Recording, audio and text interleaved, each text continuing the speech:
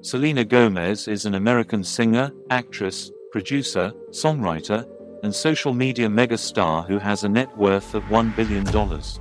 The vast majority of Selena Gomez's net worth comes thanks to her highly successful makeup company, Rare Beauty.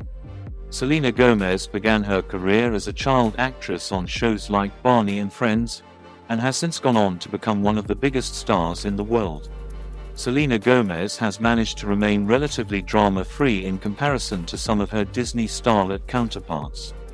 Unlike Lindsay Lohan, Amanda Bynes, Britney Spears, and Demi Lovato, Ms. Gomez has seemed to handle fame, a busy schedule, a high-profile romance with Justin Bieber, and then began working for the Disney Channel in a recurring role on seasons 2 and 3 of Hannah Montana. In 2007, she was cast as one of the leads on the popular series Wizards of Waverly Place. From there, she went on to appear in such films as Another Cinderella Story, Princess Protection Program, and Ramona and Beezus. Today, she is a highly sought after actress and endorser. In 2021, Selena began starring in the Hulu series Only Murders in the Building alongside